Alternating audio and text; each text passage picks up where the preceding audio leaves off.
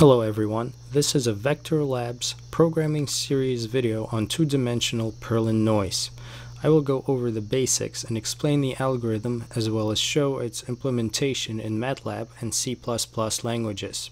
Eventually, I will also post the complete source code on my website, nerdstrom.org. You may have seen images like this in graphical software packages like Adobe Photoshop or Paint.net via the render clouds effects available in them. Or perhaps you're trying to develop a game with some random element like terrain.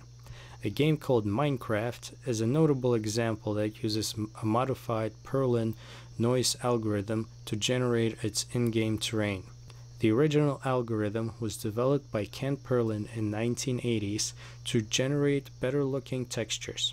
No matter the purpose though, Perlin noise has become a common tool used to generate weight maps in two and three dimensional spaces, although it can be used for an arbitrary number of dimensions. For additional background information on the algorithm, you can check out the Wikipedia article under note number 1 in the video description and Ken Perlin's website on noise under note number 2. As an aside, the image you see here was actually constructed from multiple layers of noise of increasing frequency and decreasing amplitude. This is sometimes referred to as fractal noise and is illustrated here. The different layers have the same dimensions but the noise becomes more dense. When the layers are added together, the image on the bottom is formed. To learn more about this, please refer to the website under note number 3. With that out of the way, we can move on to the actual algorithm. Now I expect you to already know some topics from linear algebra such as vectors and dot or inner products. So if you do not know these, you should probably pick up a book on the subject or do some research online. When you generate the noise using this algorithm and in general, you start off with some size considerations.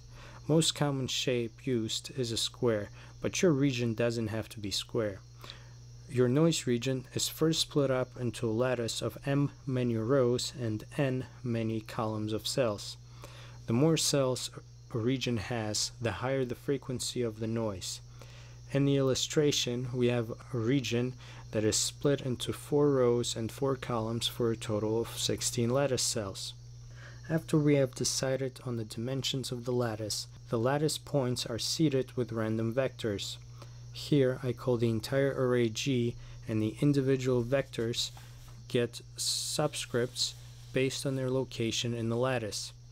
These vectors define the gradients in their vicinity. Now let's consider some arbitrary sample point P in our region at which we would like to know the value of the noise function. First thing we do is determine the displacement of the corners of the lattice cell relative to our sample point, shown in the illustration as vectors S in blue color.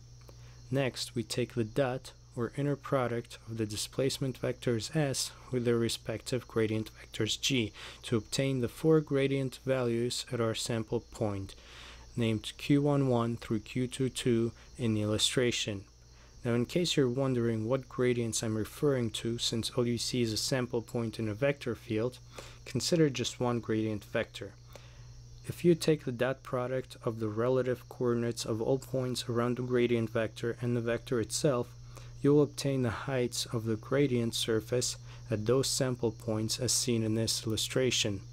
The plane at z equals 0 represents an array of sample points around the gradient vector located at the origin.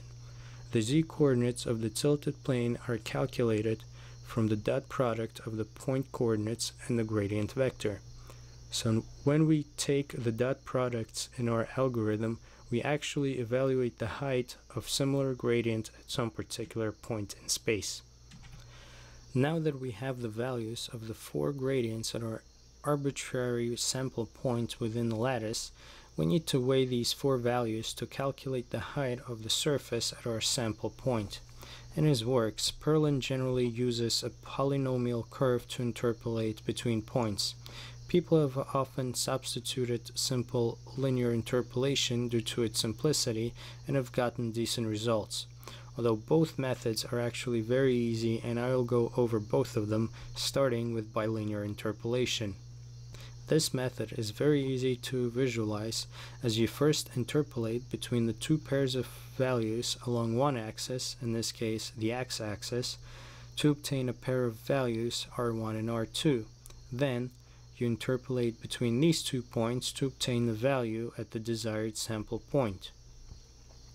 The nonlinear interpolation is a little bit harder to visualize, but it's still pretty simple. To describe it briefly, it is a weight sum of all four points where the weight for each given point is given by some nonlinear function shown as f11 through f22 in the illustration. Perlin often used the S-curve defined in one dimension as 3t squared minus 2t cubed. The curve, or surface, works in higher dimensions through repetitive products of the formula across all the dimensions as shown in the lower equation. The equation for two dimensions which we will be using is given in the middle. This interpolating curve, like other curves, starts with a value of 1 near the origin and decreases to 0 as you move away from the origin. As you can see from the illustration, each corner of the lattice cell has the weighing function rotated so that the peak is at the proper xy coordinate. As would be expected of a good weighing function, when all four of these are added together, the result is unity as can be seen by the flat plane in the bottom graph. Now before we move on to the implementation of the algorithm, let's review what steps are necessary. First, we pick a region and split it into a lattice of cells, which we seed with random vectors. Then, as we loop across all the desired sample points in the region, we perform the following. The corners of the cell are located relative to the sample point. The four gradient values are calculated at the sample point by taking the dot product of the displacement vectors and their respective gradient vectors. Finally, the noise value at the sample point is interpolated from the gradient values. This is repeated for every sample point in the region until completion. Now we can move on to the actual code. I will show the code implementations with both linear and S-curve interpolants. However, the S-curve version will only be shown in MATLAB. As a side note, if you don't have access to MATLAB, you can use Octave, which is a free MATLAB clone with most of its functionality and compatible language. The noise plots generated for this video were done with Octave. Also, a disclaimer, I have not yet tested the C++ version of the code, and what you see here is simply a ported version of the MATLAB code, yet untested. Once all the code is fully done, I will post it on my website with a link under note number 5. The implementation that I will be covering in this video is that of a function which will generate a noise map which can be used for other purposes. In MATLAB code, the function perlin2d takes in three values and outputs three two-dimensional arrays with coordinate data. In C++ code, the function would receive three input variables and three pointers in which it would store the output. The xn and yn input variables specify the number of columns and rows respectively in the lattice, and the SPS variable specifies the number of samples per side of the lattice cell onto memory allocation and variable declaration. In MATLAB this isn't really necessary, although you should allocate the space required for the output array by initializing it with a call to the zeros function. In C++ we have to declare two integers m and n which store the size of the output array. We also declare pointers to the two-dimensional arrays which will hold the components of the gradient vectors. Then we allocate the memory for all of this data. Now we're going to seed the gradient vectors and initialize the array of sample points. In both versions of the code, I'm using a function called randRange for random range, which outputs random numbers between a low and a high value specified by the user, in this case minus 1 and plus 1. This is a non-standard function, however you should be able to write it fairly easily. I will include it when I post the code. Since C++ doesn't have a mesh grid function, I wrote a nested for loop which does the same thing as the MATLAB version of the code. At this point in time, we have created a lattice of gradient vectors and created an array of sample points. We are now ready to move to the main loop of the algorithm where we calculate the actual values of the noise surface. The main part of the algorithm is a nested for loop which loops over every index of the sample point array. First, for every point, the algorithm calculates the lower corner coordinate of the lattice cell in which the point resides by truncating the coordinates of the sample point with a call to the floor function. There's also some error checking, which prevents indices from going out of bounds of the arrays along the upper edges of the lattice. Next, we calculate the displacement vectors S. Since we know that every cell is a unit square, we know the relative location of the point inside the cell, we can compute all the necessary vectors. XR and YR store the coordinates of the sample point relative to the lower left corner of the cell. The rest is a little bit of vector math. Since MATLAB array indices start with 1 and not 0, we have to add 1 to the truncated sample point coordinates xc and yc to obtain the gradient vector indices gi and gj. The final part of the loop consists of calculating the gradient values at the sample point by taking the dot products of the displacement and gradient vectors and interpolating between them. The lerp2 function is not standard, but should be of no problem to write. It will be included with the posted code.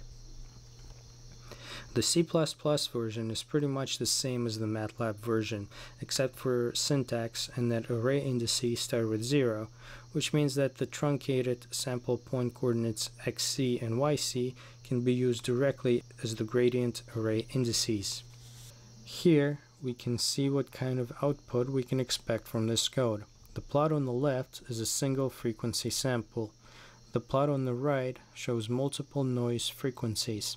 If you look close enough at the plot on the left, you can see portions which look like creases. I believe this is a side effect of using bilinear interpolation.